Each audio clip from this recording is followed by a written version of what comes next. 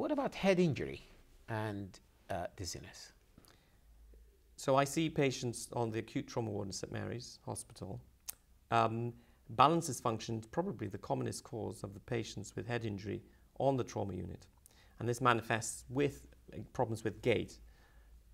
Uh, depending on the severity of the head injury, that mm. may or may not recover to a greater or lesser extent or faster or slower extent. So I imagine in, in general practice, you will be seeing patients more on the milder end of the spectrum, mm. at least with a recent head injury. So there are some specific diagnoses you need to look out for. At least in the major trauma ward, uh, there are some very clear-cut diagnoses that we find. So 40% of patients have benign paroxysmal positional vertigo. Induced by the head injury? Yes. Mm. Uh, in terms of the gait disorder, we find 70% of patients have a, a, gait disorder, which recovers over time according to the severity of the head injury.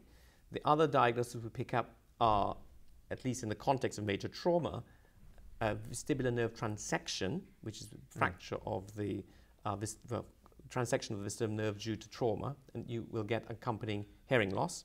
That occurs in 20% uh, and uh, a form of headache which has the phenotype of migraine, typically vestibular migraine, and that affects 30% of patients.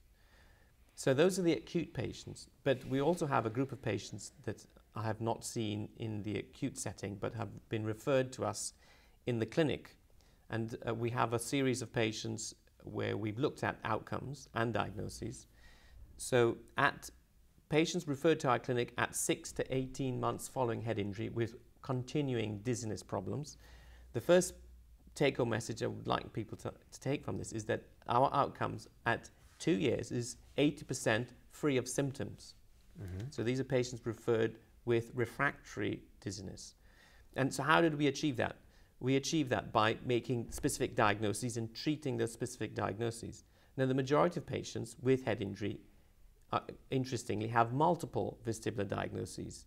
So in the acute situation, 52% of patients have two or more vestibular diagnoses. So a gait ataxia with or without BPPV, without a headache that looks like vestibular migraine, vestibular transection, etc. So you have a combination of diagnoses.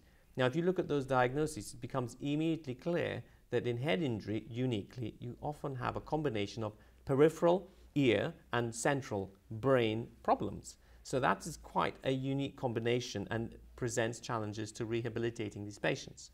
So the step-by-step approach is one, make the individual specific diagnoses, two, treat those individual specific diagnoses, and then three, refer to rehab once you make those diagnoses and start them on the treatment for those particular diagnoses.